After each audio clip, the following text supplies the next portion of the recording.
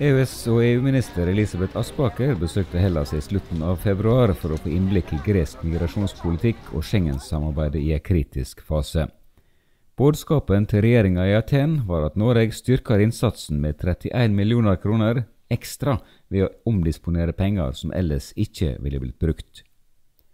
Norske EØS-midler er allerede med på å styrke det greske mottaksapparatet, og støtta går bl.a. til Flyktninghjelpa sitt arbeid. Lesbos er en av øyene som tar imot flest flyktninger.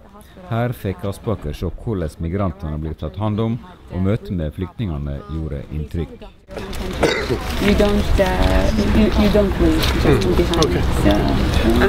just uh, hello.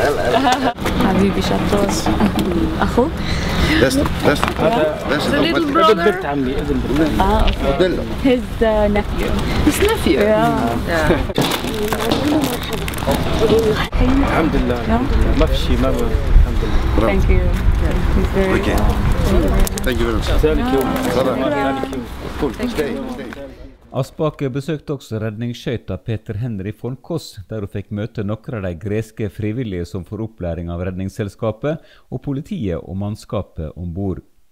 Migrasjons- og asylområdet kan også bli sentralt i den kommende perioden med EØS-midler, der Hellas til sammen vil få 120 millioner euro til disposisjon.